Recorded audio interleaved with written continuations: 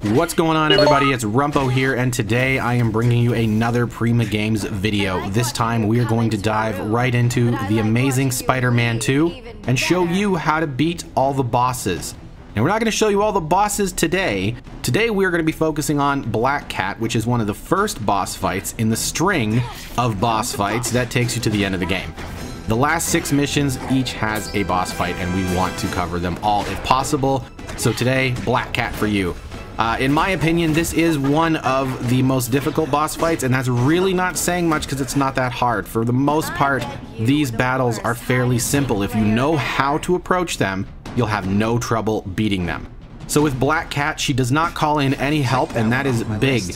What you want to do to defeat her, though, is keep in mind you cannot use your seismic blast. She is extremely fast and she is immune to that. So don't try to stun her with your seismic blast, the same as you would a brute, for example, which are those great big guys that you fight sometimes.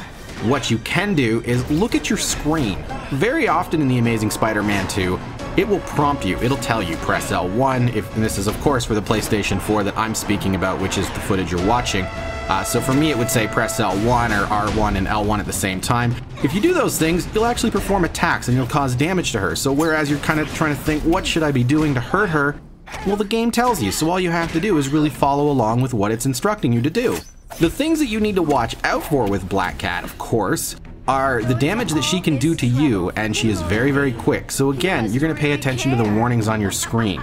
If you get a message telling you to use your evasive roll, use your evasive roll. If you see uh, that things on your screen start to go a little bit red or they start to tingle with your spidey sense, it's time to dodge. And as long as you are very timely with your response to that, you will have no problem. She will not hurt you.